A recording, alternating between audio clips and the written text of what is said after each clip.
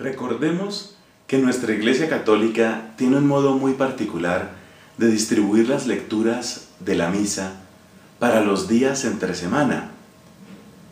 Una cosa es el Evangelio y otra cosa es la primera lectura. Por supuesto, entre semana lo que hay es primera lectura y Evangelio. Entonces, ¿el Evangelio qué secuencia lleva? Primero se toman textos de San Marcos, luego se toman textos de San Mateo y luego se toman textos de San Lucas. Esa lectura de San Marcos es prácticamente continua y cuando se termina la parte de Marcos, menos los textos de la Pasión, que son siempre para Semana Santa, se sigue con San Mateo y se lee casi todo San Mateo, menos la parte de la Pasión, y luego casi todo San Lucas, menos la parte de la Pasión. Así funciona el Evangelio. ¿Y la primera lectura cómo funciona? La primera lectura va cambiando en los años pares y en los años impares. Además, también se va cambiando del Antiguo al Nuevo Testamento y luego otra vez al Antiguo y luego otra vez al Nuevo. Es decir, hay una mayor libertad en esos textos de la primera lectura.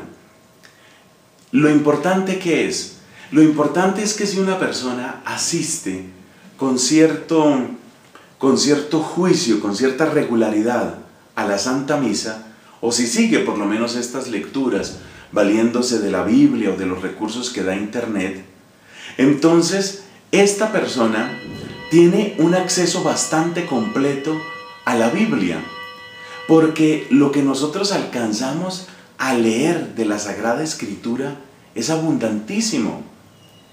Por ejemplo, la semana pasada, que era la semana número 11 del tiempo ordinario, estábamos terminando unos textos de la segunda carta del apóstol San Pablo a los Corintios.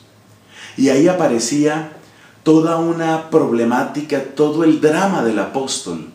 En esta semana que estamos empezando, la semana número 12, el panorama cambia completamente.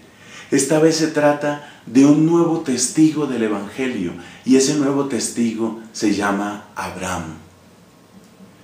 Pero nosotros sabemos que Abraham está en el primer libro de la Biblia, es decir, en el Génesis.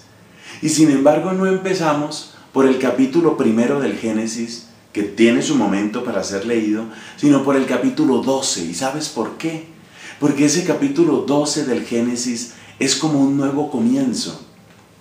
Los primeros 11 capítulos del Génesis son hasta cierto punto relatos que en medio de su lenguaje profundamente simbólico, nos están enseñando verdades y realidades muy profundas, como por ejemplo, cuál es el origen de todo cuanto existe, o cuál es el papel del hombre en medio de la creación. Esta clase de preguntas, lo mismo que por qué hay hombres y mujeres, o en dónde está el misterio de nuestra propia felicidad, en dónde hemos de buscarlo, a quién hemos de obedecer. Estas preguntas fundamentales se tratan con un lenguaje muy especial en los capítulos del 1 al 11.